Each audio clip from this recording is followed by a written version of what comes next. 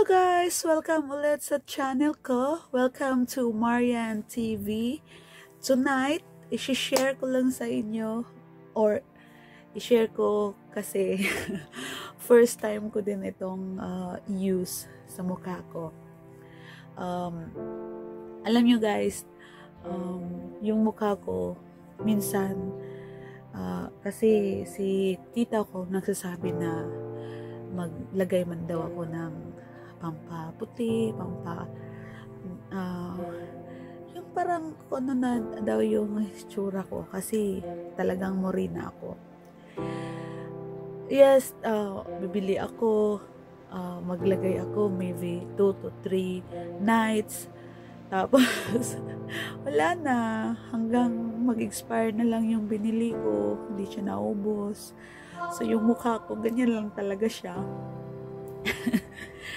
tamad ako guys, tamad ako maglagay sa mukha ko.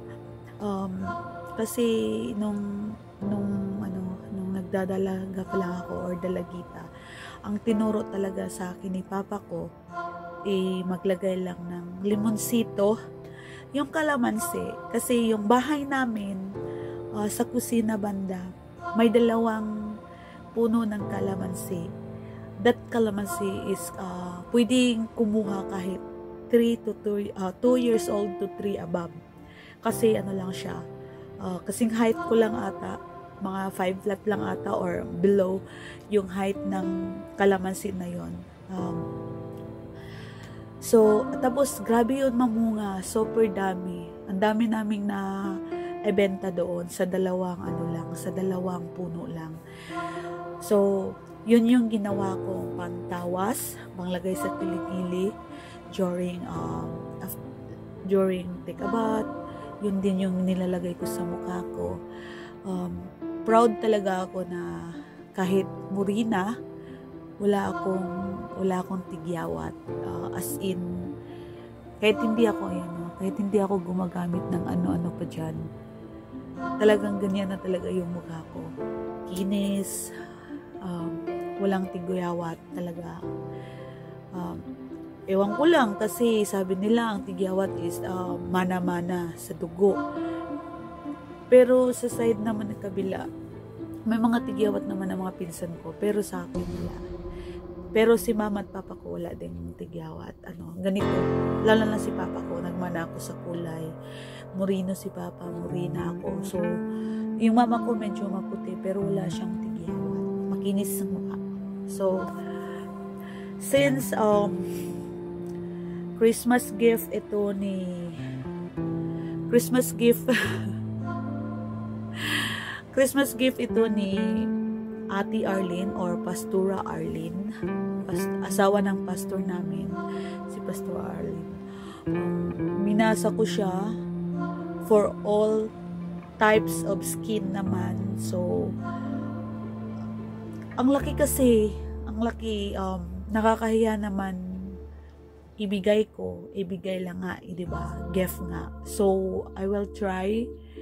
Sana, sana maubos ko. Or sana magustuhan ko. Or sana mag, ano yung skin ko sa kanya. Since, um, uh, since winter, so medyo nakaka-dry yung weather. So, try ko ito. Ito, try ko lang. Wala namang mawawala. Ito try ko lang. I'm not expected na pumuti. No. Um, basta ito try ko lang. I will use it. So, yan guys. Aloe vera. Ayan na nakalagay.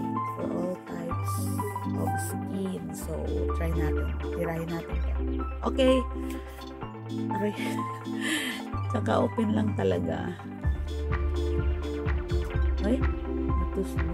Oh, ganito pala yung laman. Gel na.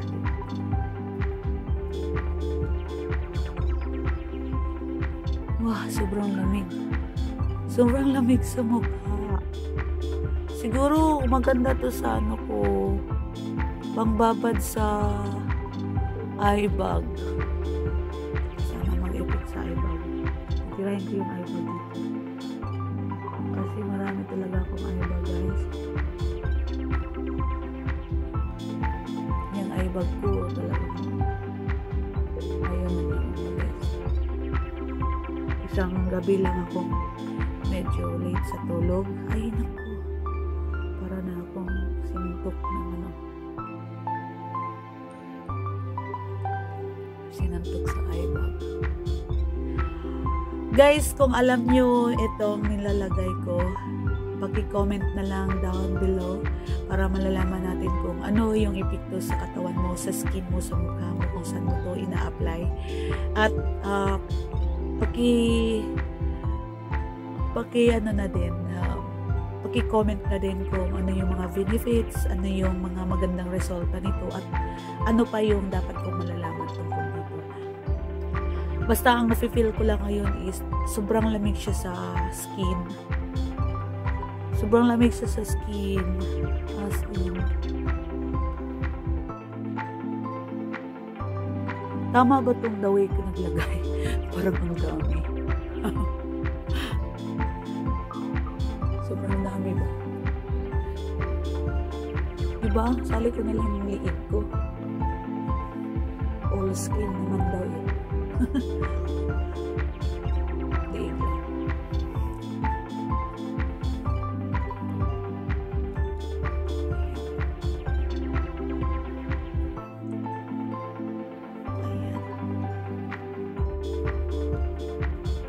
Ayan na guys. So, takip na yun. Nakatakot na.